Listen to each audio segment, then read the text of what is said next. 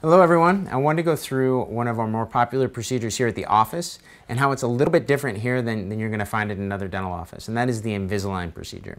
What Invisalign is, is they're clear aligners that snap onto the teeth. Oftentimes we'll put little tiny attachments that really allow the aligners to put torque on the teeth. The aligners are changed, it used to be every two weeks, and each aligner slowly moves the teeth to the more ideal position that we've predetermined through our software. Now, what makes it a little bit different here is, like I said, they used to be changed every two weeks. But with every case, every full Invisalign case, we offer something called an AcceleDent. What an AcceleDent is, is it's a vibrating bite plate that fits between the teeth. For 20 minutes a day, the patient wears it. What it does is it stimulates the movement of the teeth and allows the aligners to sit on the teeth even better, allowing for faster, more effective tooth movement. In many cases, we're actually moving people along almost twice as fast with their Invisalign treatment.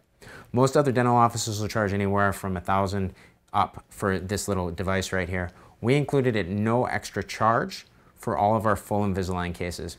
We find that it's a win-win for everybody. The treatment's more predictable and the patient's happier. So if you have any interest in finding out about Invisalign, feel free to schedule a consultation and we can do a 90 second workup where you can see exactly how we're gonna move the teeth. And I'm gonna do another video on that so you can see how that works. Have a wonderful day.